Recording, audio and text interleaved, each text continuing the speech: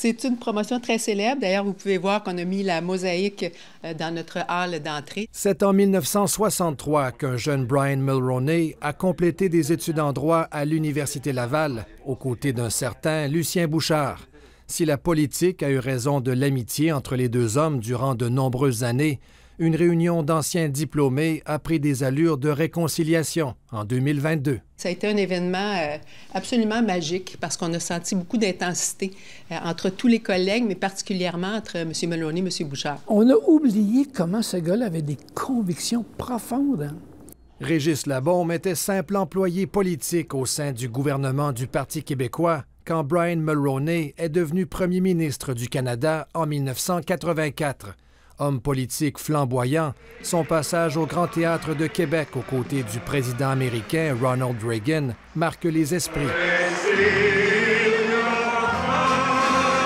Fier Canadien français, son engagement d'intégrer le Québec dans la Constitution avec honneur et enthousiasme allait convaincre René Lévesque de courir le beau risque. Mais il l'a fait, il a eu confiance, il a voulu se rendre jusque-là à cause de Mulroney et Bouchard. Régis Labombe a mieux connu Brian Mulroney lors des années de construction du centre Vidéotron, à une époque où Québec cherchait à obtenir une équipe d'expansion de la Ligue nationale de hockey.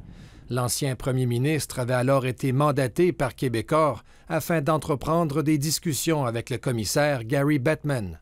Il t'amenait quelque part dans une conversation, moi qui est quand même assez rusé, là, euh, il était plus que moi. Ça a été une soirée très difficile euh, hier soir, ce l'est euh, aujourd'hui aussi. L'avocate Olga Farman, qui a côtoyé M. Mulroney au cabinet Northern Rose Fulbright, dit perdre un mentor et un ami. Depuis un an, elle co-préside la campagne de financement du Carrefour international Brian Mulroney, qui vise à doter l'Université Laval d'un pôle d'excellence francophone en enseignement et en recherche sur les enjeux nationaux. On parle souvent de legs ces temps-ci pour euh, notre capitale. Ça va être un immense leg, euh, je vous dirais, euh, social, mais aussi économique et politique pour la région. Ici Olivier Lemieux, Radio-Canada, Québec.